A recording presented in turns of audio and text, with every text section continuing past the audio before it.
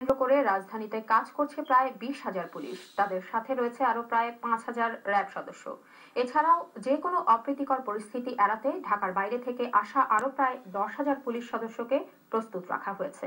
নগরীর মোড়ে মোড়ে দেখা গেছে অতিরিক্ত পুলিশ। তবে এ সময় গণপরিবহন খুব একটা চোখে পড়েনি।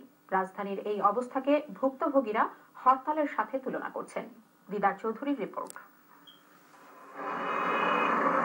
চার দলীয় জোটের মহাসমাবেশকে কেন্দ্র করে রাজধানী জুড়ে আইন শৃঙ্খলা বাহিনীর এই প্রস্তুতি। নিরাপত্তার এই প্রস্তুতিতে পুলিশের সাথে আছেন র্যাব সদস্যরা। সকাল থেকে রাজধানীর মোড়ে মোড়ে অবস্থান নিয়েছেন পুলিশ সদস্যরা। তল্লাশির মুখোমুখি হতে হয়েছে অনেককে।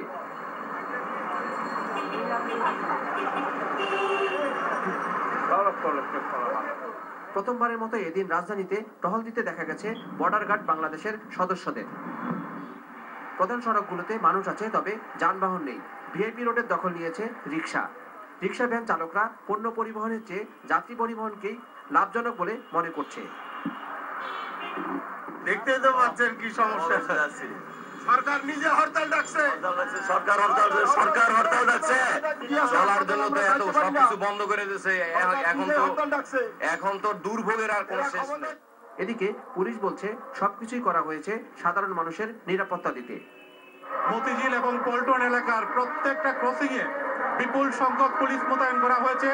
প্রত্যেকটা পয়েন্টে কমপক্ষে একশো বিশ থেকে একশো পঞ্চাশ জন করে পুলিশ আছে। রুফটপে পুলিশ আছে। আমাদের সাদা পোশাকে পুলিশ আছে। তো সার্বিকভাবে নিরাপত্তার জন্য যা যা করা প্রয়োজন সবই আমরা করেছি।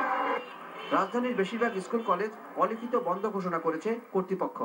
জরুরি প্রয়োজনে যারা বাইরে এসেছেন তাদের চরম ভোগান্তিতে পড়তে হয়েছে। আমার কোথাও কোনো ক্ষোভই নাই। ক্ষোভ হচ্ছে এই দেশের নাগরিক এটাই আমার ক্ষোভ। রিক্সার ভাড়া অনেক বেশি আশি টাকা ভাড়া। যাব জিগাতলা যেখানে আমরা পনেরো টাকা দিয়ে যেতাম।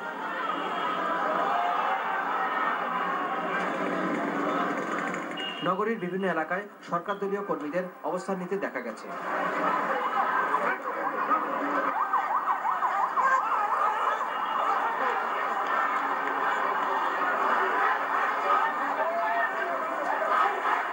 ঢাকা কলেজের সামনে ও এলিফেন্ট রোড এলাকায় লাঠি নিয়ে মহড়া দেয় ছাত্রলীগ কর্মীরা।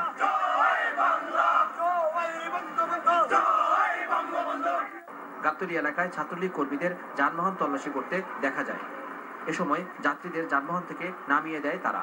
এলাকার লোকজন আমরা এখানে জান- জনগণের যানবাহন এদের গাড়ি চুরি ভাঙচুর করে এই করে আমরা দেখি এটা আমাদের এই দায়িত্ব হ্যাঁ। কে দিছে আপনাদের কেউ দেয় নাই আমরা নিজের থেকে নিই সন্ত্রাসীরা যাতে অস্ত্র শস্ত্র সহ ঢাকায় না ঢুকতে পারে এই জন্য আমরা দেখছি কর্তব্যরত পুলিশ ঘটনার সত্যতা স্বীকার করে নিজেদের অসহায়ত্ব প্রকাশ করে আসলে এটা তাদের আইনগত কোনো ভিত্তি নেই এটা আমাদের পুলিশই চেক করতেছিল হয়তো ওরা পাশে দাঁড়িয়ে দাঁড়িয়েছিল এটাই আমার চোখে পড়েছে দিদার চৌধুরী, এনটিভি নিউজ, ঢাকা। বিরোধী দলের মহাসমাবেশকে কেন্দ্র করে রাজধানীতে সরকার ও বিরোধী দলের সমর্থকদের মধ্যে ধাওয়া পাল্টা ধাওয়া ও ককটেল বিস্ফোরণের ঘটনা ঘটেছে।